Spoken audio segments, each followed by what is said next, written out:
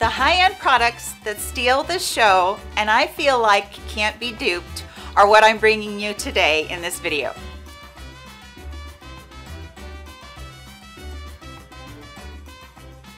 Hello friends, the lovely Emily Noel did a video not very long ago where she talked about the undupable products and I thought that is so good because you all know that I love a good dupe and I try to bring you those so very often but sometimes we run across products that you just can't dupe. So this is a great way to talk about high-end products that are worth the money and be able to tell you, I'm looking for a dupe, yes, but I haven't found one yet. So that's what I'm gonna get into right now. Let's start out with one that everybody goes gaga for, and it's Charlotte Tilbury.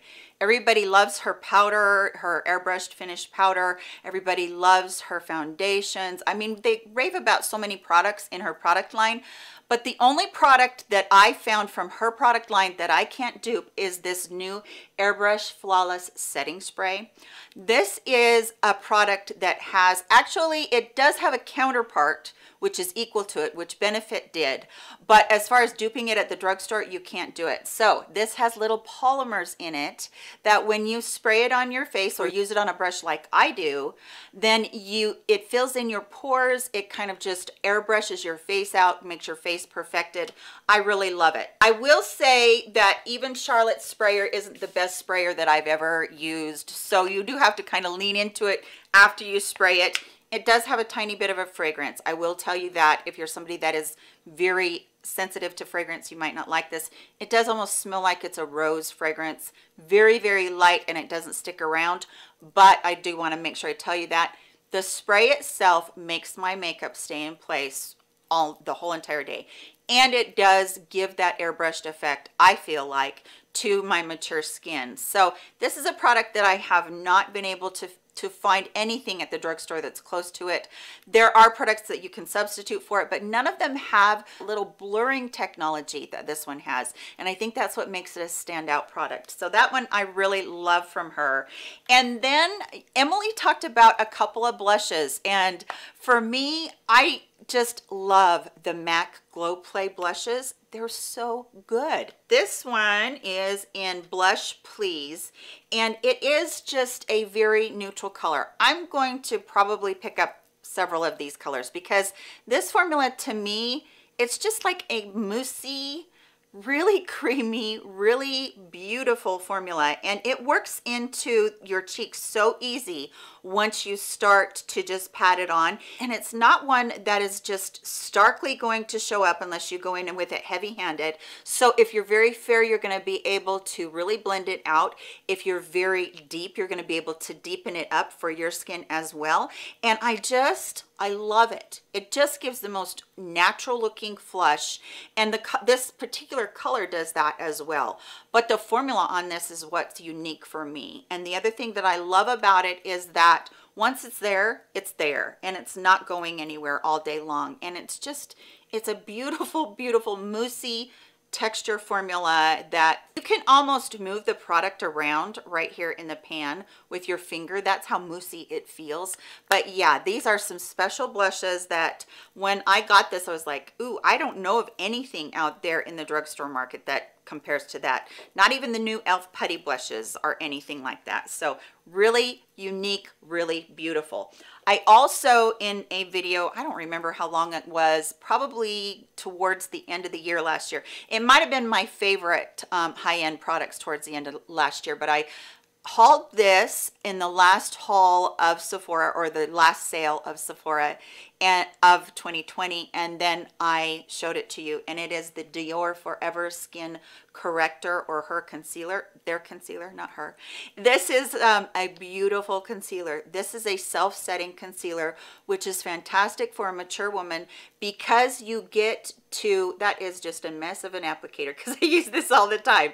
Because you can just go ahead and use it put it on and not have to set it with powder I do occasionally, if it's warm outside, I will set this with some setting spray and a brush, but it has a great coverage to it. You don't need a ton. And I love that it's very, very thin. So again, summertime, great for summertime when we, you know, we sweat a little bit more, we're out and about a little bit more, wearing our sunglasses a lot. which we should wear all the time for the UV, but we're wearing our sunglasses a lot and it gets a little bit sweaty right there really holds up and I love that about it. It really has just a beautiful coverage on it for such a thin formula. I think it's great. Let me see what my color is. I do feel like this is just a little bit on the yellow side. I pick up something that's on the yellow or neutral side for a concealer anyway because of my dark, dark circles, and it helps cancel that out even though I do wear a color corrector. This is 1.5N. I'm not sure if this is the lightest color in their shade range. I think that there's one or two that are lighter, and you can't get them at Sephora, but you can get them on their website, so you know that beautiful formula that's not going to break apart during the day. It's not going to crease underneath your eyes. It's beautiful, lace, pretty, pretty on that crepey skin underneath there. I really love that. And then something that has been out forever and ever is the Bare Minerals Mineral uh, Foundation. This is something that I have never found a dupe for. I've tried lots of other mineral foundations and used them before I hit about 45 and then my skin became super dry and I couldn't use them anymore. But you can use the original Bare Mineral mineral makeup. Um, they do have the, a little bit more matte formula that they have on their website, but this is the original and it works so good for me.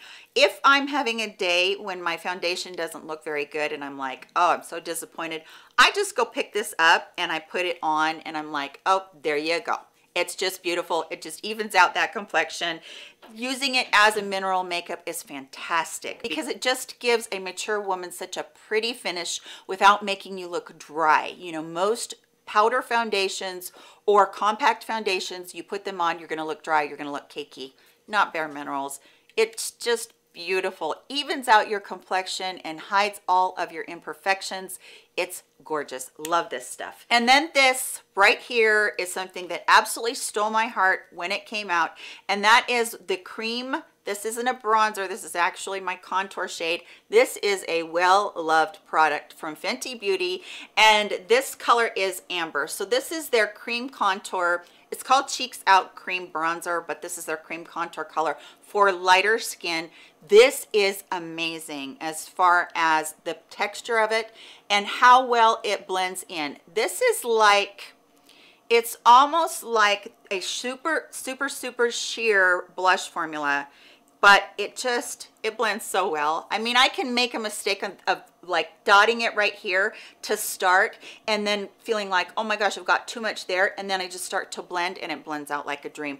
I feel like i can never make a mistake with it but the thing about it that i love is that it's a cream product and i've never found that color in a cream product which is that beautiful muddy color which gives you a contour without any sort of warmth I love that. So your contour is going to recede like it's supposed to.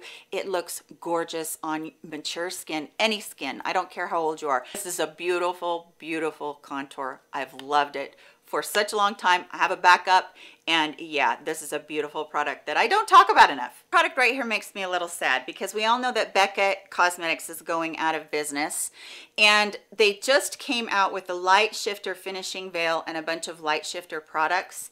And when they came out with this, I picked it up immediately before they even talked about it them going out of business and I immediately fell in love with this and it's because it's so different and I when I stuck my finger in there, I'm like, that feels like no powder powder. You know how they talk about no makeup makeup or no blush blush or your lips but that's what it feels like is a texture that I I've not felt before. It is so much better dare I say, than the Charlotte Tilbury.